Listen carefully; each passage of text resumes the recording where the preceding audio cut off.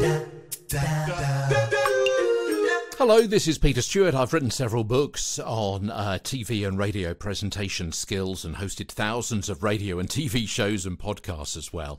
And I uh, thought I'd uh, put some of uh, that experience, uh, the the advice, exercises, anecdotes from from my career uh, training um, presenters for the BBC and so on into this series of short daily podcasts. Thank you very much indeed for listening. Just winding up, just finishing up our chapter on uh, pitch. And uh, I'll be honest with you, we touched on pitch and politicians, didn't we, about a week or 10 days ago?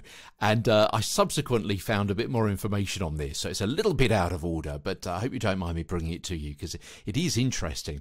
Uh, re- researchers at the University of California in Los Angeles, yeah, the, the, uh, the UCLA, found that political leaders with lower voices were perceived as more dominant and attractive.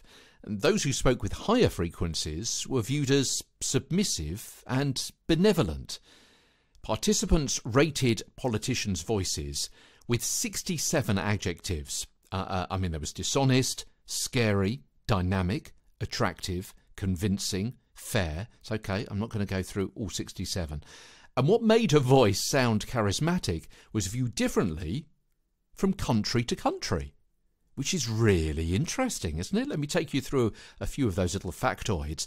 French participants preferred a politician with a medium vocal pitch, perceiving him as prudent, calm, trustworthy, and fair. Italian participants in the survey preferred a lower pitch, viewed as authoritarian determined, and menacing.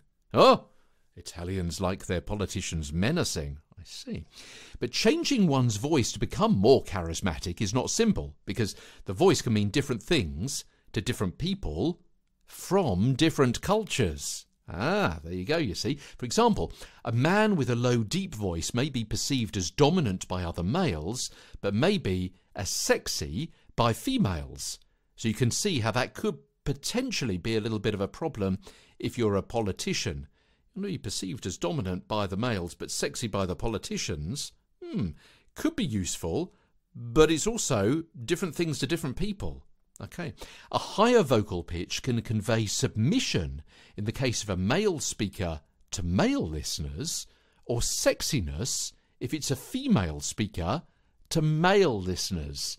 Oh, Interesting stuff there from the UCLA as we wind up everything to do with pitch on Get a Better Broadcast podcast and video voice. Wind up, I hear you say? Yeah, absolutely. Tomorrow we're moving on to another chapter in our podcast, another chapter in the book, because you're hearing almost paragraph by paragraph, section by section, Get a Better Broadcast podcast and video voice. The podcast, which is taken from the book that I'm writing, kind of chasing my tail as I do this. Tomorrow we start a new chapter on tone. And we introduce you to tone. All right, tone. All right, over there. Good man. A tone and emotion. Uh, on the program tomorrow. Let's have a little scroll down here about what I've prepared over the next uh, week or so.